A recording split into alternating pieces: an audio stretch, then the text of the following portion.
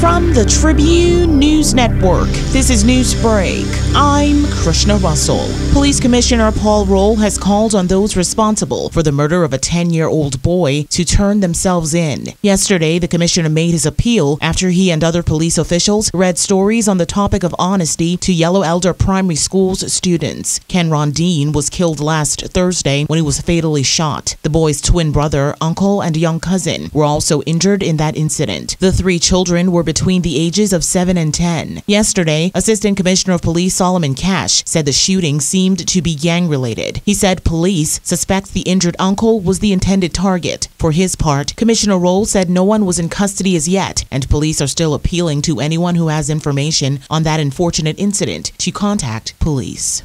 While a growing number of European countries have suspended use of the Oxford AstraZeneca COVID 19 vaccine over concerns it may cause blood clots, Bahamian officials have defended the shot as safe. In an interview yesterday, Dr. Nikkiah Forbes, director of the National HIV AIDS and Infectious Disease Program, contended that so far there's been no indication of a link between the vaccine and blood clots. In view of this, she said the use of the jab should continue. Several countries, including Denmark, Norway, Bulgaria, the Republic of Ireland and Iceland have suspended the use of the British made vaccine. Out of fears, people who received it have had blood clots. As a result, the European Medicines Agency began investigating this issue after around 30 people out of 5 million reported having the issue. This works out to be about 1 in 167,000 people. The numbers suggest that the majority of vaccinated people did not get blood clots.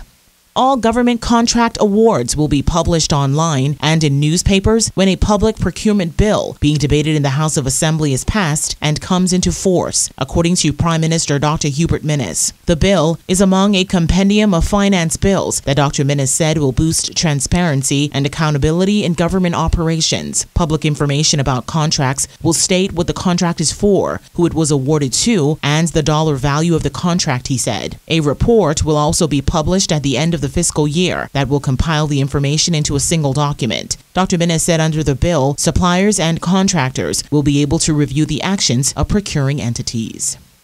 After an off duty police officer fatally shot a man police said attacked him with a bat, Commissioner of Police Paul Rolle insisted that the matter will be investigated like any other incident. Loved ones of the deceased have questioned the police's version of events. Yesterday, Commissioner Rolle said while he did not want to delve into the specifics of the case, he will make a determination based on the facts once he has received the full details. He said the matter will then move on to the coroner's court for a hearing. In international news, U.S. guidelines that say students should be kept six feet apart in schools are receiving new scrutiny from federal health experts, state governments, and education officials working to return as many children as possible to the classroom. Even as more teachers receive vaccinations, the distancing guidelines have remained a major hurdle for schools as they aim to open with limited space. But amid new evidence that it may be safe to seat students closer together, states including Illinois, Indiana, and Massachusetts are allowing three feet of of distance, and others, including Oregon, are considering it.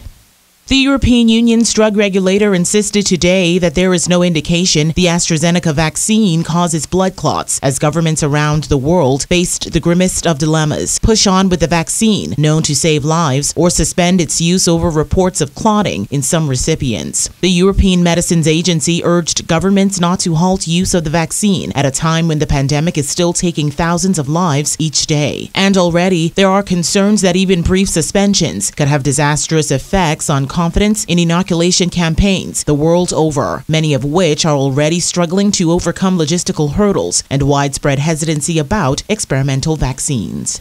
The Tribune's AccuWeather update a service of Bahamas Power and Light Company. High pressure will continue to dominate the island chain, creating mostly pleasant weather conditions. Meanwhile, invading ocean swells will build seas across Bahamian waters through tonight. Beachgoers should exercise caution due to the risk of rip currents along East Coast beaches as well as Atlantic exposed shorelines. For all areas, it'll be partly sunny to sunny, warm and a bit breezy, with a few isolated showers today, becoming mostly fair and mild mild with a stray shower or two possible tonight. A small craft caution is in effect due to swells. A small craft advisory will come into effect for the southeast Bahamas by late tonight. Winds east to southeast at 15 to 20 knots in the northwest and central Bahamas. Easterly at 15 to 20 knots in the southeast Bahamas. Seas 3 to 5 feet over the ocean, but up to 7 feet along Atlantic exposed shorelines in moderate northeasterly swells today. Building 5 to 8 feet over the ocean in light to moderate swells in the southeast Bahamas by late tonight. We'll have a daytime high temperature of 82 degrees and an overnight low temperature of 68. The sun will set this afternoon at 7:17 and will rise tomorrow morning at 7:18. That's news break. Details of the day's top stories in the Tribune newspaper now on the streets or stay up to date online at tribune242.com.